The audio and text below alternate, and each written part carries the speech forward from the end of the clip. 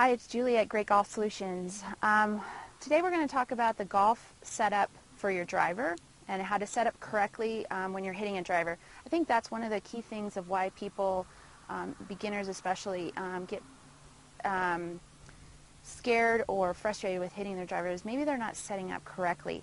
So um, I wa wanted to talk about a few things right off the bat is when you're hitting a driver, what you probably notice when you're out um, buying tees or you're getting tees at your uh, local golf course is there's going to be a, a, variety of sizes now. And the popular one for hitting a driver is going to be the longer, like two and a half to two and three quarter inch tee.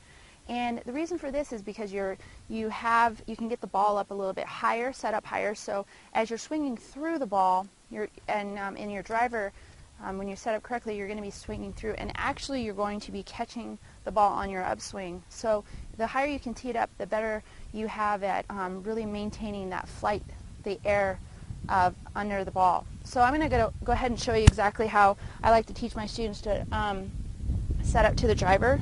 Is go ahead, like I said, get that ball, get a lot of, get a good tee height on the ball. Um, if you put your uh, driver behind the ball, you really don't want to see the ball um, higher than the top of your driver, but nowadays with the, the um, face of the driver is so deep, it's going to be kind of hard to do.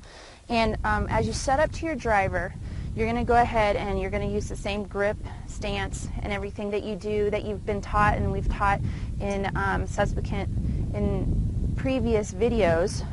The one major thing difference is as you set up, that ball position is going to be off the inside of your left heel, right here. But what you want to, um, if you're set up correctly, that club is still going to feel like it's attached to the middle of your body, to the your spine. So you, what you don't want to feel is you don't want to feel like this, like your hands are out here and your body's back this way. You get set up correctly.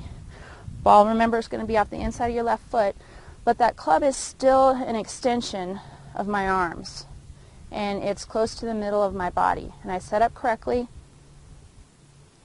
and I get set up like this. Ball in the middle of your stance. You do it correctly. Make a good swing at the ball. Should be able to hit it out there a good distance straight away to your target. Use these tips to help lower your score because that's our number one goal here at Great Golf Solutions